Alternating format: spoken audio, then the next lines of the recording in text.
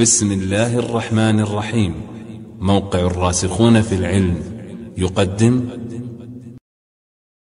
بعد الظهر. من الذين ظهروا في تلك الأزمنة؟ وأدركوا الدولتين معن بن زائدة الشيباني ويضرب به المثل في الحلم والكرم. هو أدرك الدولتين الأموية والعباسية. ثم استقر به الأمر أن يكون قريبا من أبي جعفر المنصور. وهو الذي قيل إنه جاءه رجل يختبر حلمه وقال تذكر إذ لحافك جلد شاة وإذ نعلاك من جلد البعير. قال أذكر ولا أنساه. قال فسبحان الذي أعطاك ملكا وعلمك الجلوس على السرير. قال سبحانه على كل حال. قال فلست مسلما ما عشت دهرا على معنى بتسليم الأمير. قال يا أخ العرب إن السلام سنة تأتي به كيف ما شئت. قال فإني فجد لي ابن ناقصة بشيء وابن زائدة. فجد لي ابن ناقصة بشيء فإني قد عزمت على المسير. قال يا غلام أعطه ألف دينار. قال قليل ما أتيت به وإني لأطمع منك بالمال الوفير. قال يا غلام أعطه ألفا أخرى.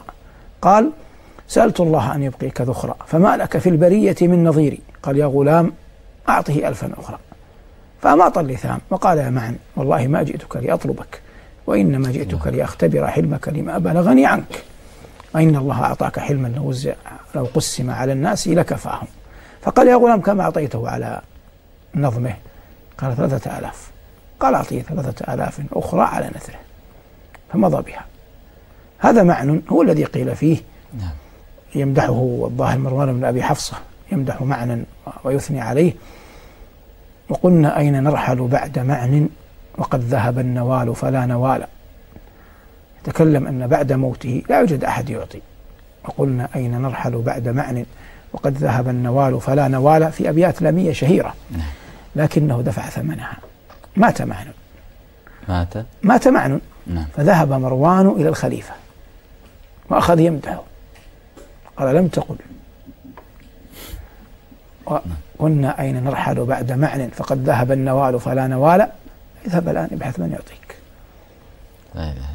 وما كان ينبغي طبعا نعم. للخليفة أن أن يصنع يعني هذا لكن معنى يعني نواله كان معروفا. ولذلك أهدر أبو جعفر دمه قبل أن يستخلصه لنفسه. وأخذ يبحث عنه ويقال له طلبة أمير المؤمنين. حتى خرج أبو جعفر ذات يوم في مكان يقال له الهاشمية في بغداد. وانفرد عن كثير من حرسه فجاء بعض خصومه يريد أن يقتلوه. ووافق بقدر الله أن معنى كان قريبا.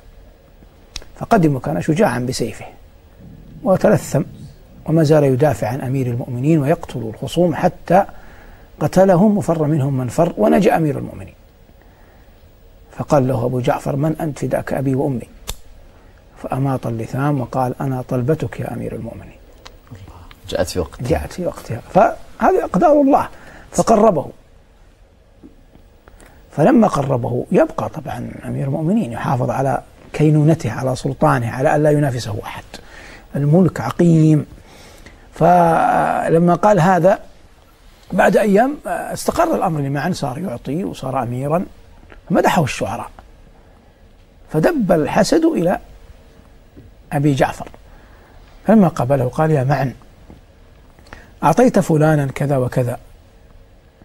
لأنه قال فيك معن بن زائدة الذي زادت به شرفا بنو شيبان شرفا على شرف بنو شيباني قال لا يا أمير المؤمنين أعطيته لأنه قال في ما زلت يوم الهاشمية مصلتا بالسيف دون خليفة الرحمن فمنعت حوزته وكنت وقاءه من كل كذا وسنان يعني قلت لأنه مدحني أنني ذكرت.